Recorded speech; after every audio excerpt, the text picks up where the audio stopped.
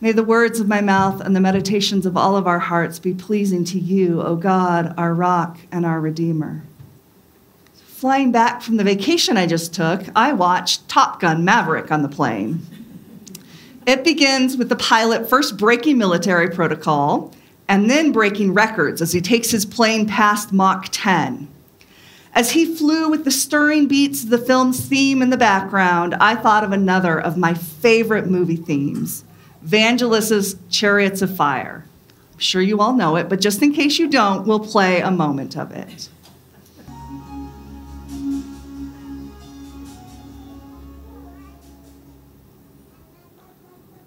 Why are we so stirred by music and movies that soar like that?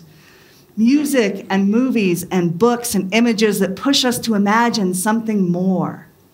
Why do we love stories that are about breaking supposed human limits or defying them altogether, as in the Matrix or Marvel movies? Why do we have this ability to be inspired, to imagine more, to long for more? Most of us are not going to fly Mach 10 or be an Eric Liddell from Chariots of Fire or a Simone Biles. Most of us will not leave Earth's orbit and head out to space but somehow we're stirred by the possibility, inspired by it. When I look at my own heart and figure out what stirs there when I watch these films or watch amazing athletes or hear Vangelis' extraordinary music, what I find there is not a longing so much for human greatness, not a longing to be amazed at something or amazing at something, but a longing to believe that there is something more that there is a kind of magic available to us that we taste but don't fully grasp when we see someone or something soar beyond what we believed was possible. I am reminded of what C.S. Lewis said in Mere Christianity. Creatures are not born with desires unless satisfaction for those desires exist. A baby feels hunger. Well, there is such a thing as food. A duckling wants water. Well, there is such a thing as water. If I find in myself a desire which no experience in this world can satisfy, the most probable explanation is that I was made for another world. If none of my earthly pleasures satisfy it, that does not prove that the universe is a fraud. Probably earthly pleasures were never meant to satisfy it, but only to arouse it, to suggest the real thing. I must keep alive in myself the desire for my true country, which I shall not find till after death. I must not, never let it get snowed under or turned aside. I must make it the main object of life to press on to that other country and help others to do the same. I believe the reason I am so stirred by music and movies and athletic feats is because I am made for more than what this world can offer. They point me to something that I can taste now but not fully consume. I can sense but not fully grasp. Religions exist, as do so many other things, because humans have always sensed that there is more than what we can see and touch right in front of us. I believe that each of us, each person, was made by a God of infinite love and made ultimately to be totally immersed in that divine love.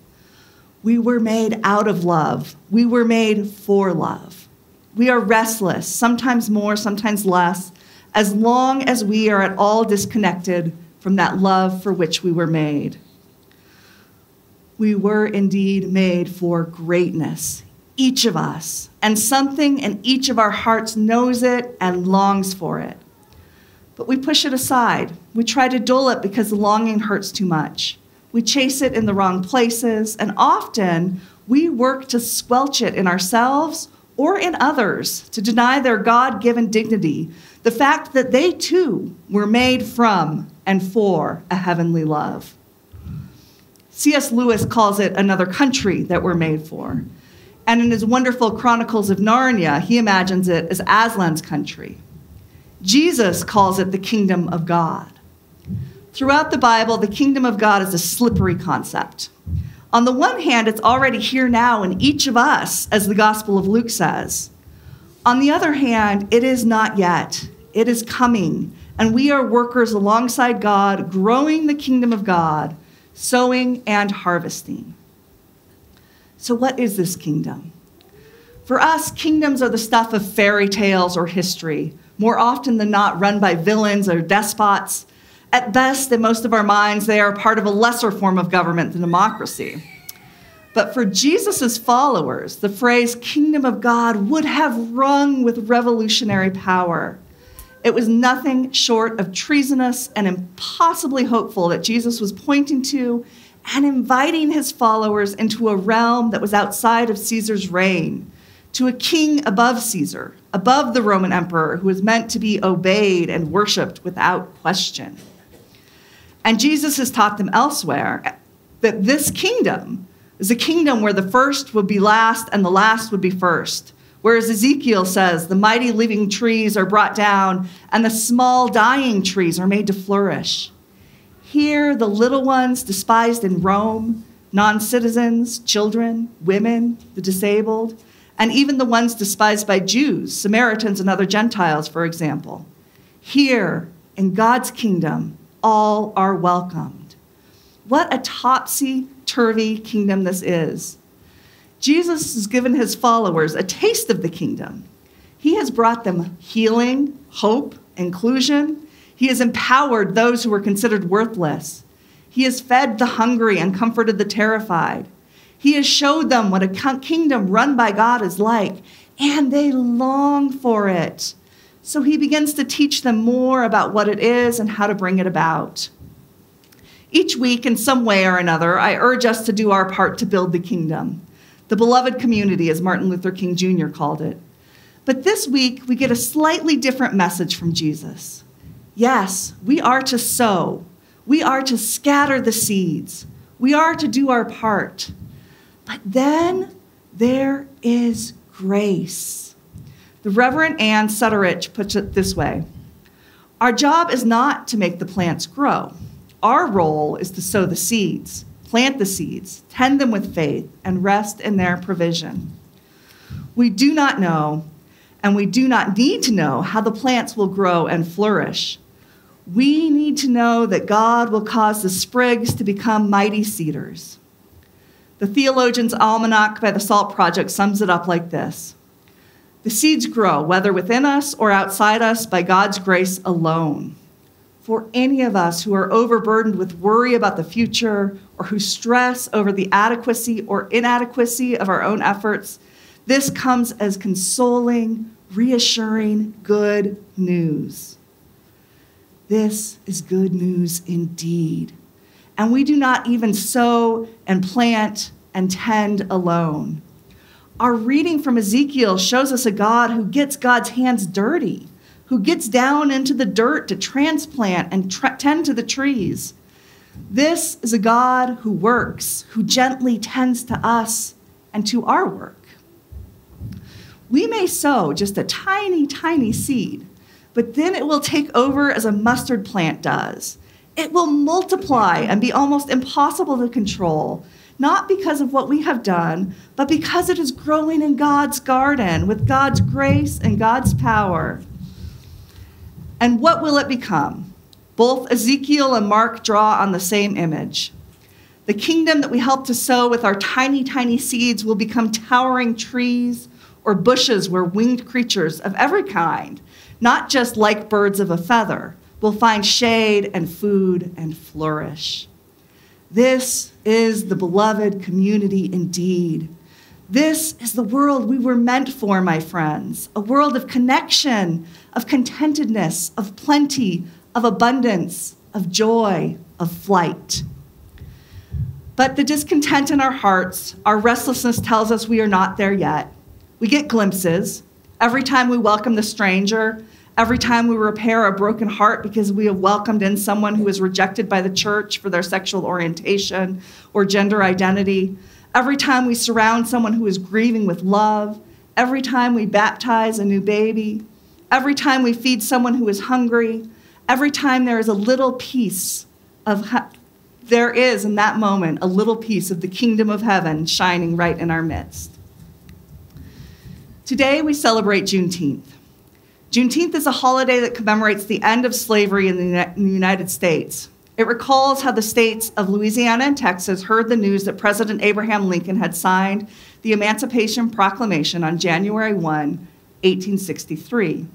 But enslavement of human beings continued in those two states for more than two years after the proclamation was signed because the word had yet to travel there. Texas and Louisiana finally got the news on June 19, 1865. Formerly enslaved people broke out in spontaneous celebration. These were dangerous times.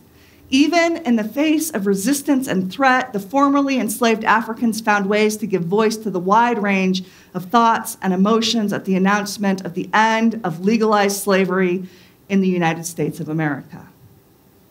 In the church, it is appropriate to celebrate and honor the incredible resilience of those who survived such a brutal institution and worked so hard to resist and end it. It is also appropriate to reflect and repent. The church was complicit in creating the theological framework to justify slavery, and even today we know the legacy of racism is with us. And celebrating the end of slavery and the extraordinary work of so many to acknowledge and fight for the God given dignity of every human being, we do get to see that little glimpse of the kingdom of heaven, even though there is so much work left to do. We each have a mustard seed that we are meant to plant. Juneteenth reminds us of what the world should be a space of freedom, joy, opportunity, and abundance for all of God's people, for every one of us.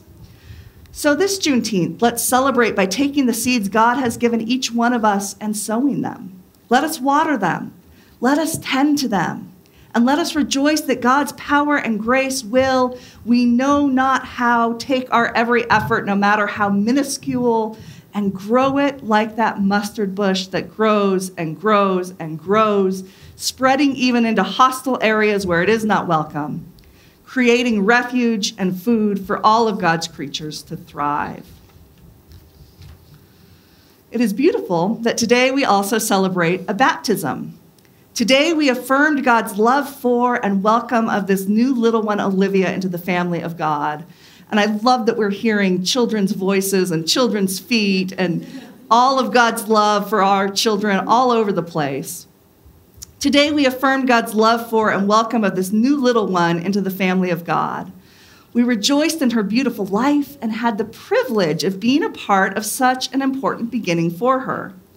With water, with God's grace, with love, with light, we helped equip her to walk the path of faith and to live a life of joy, justice, and love and peace.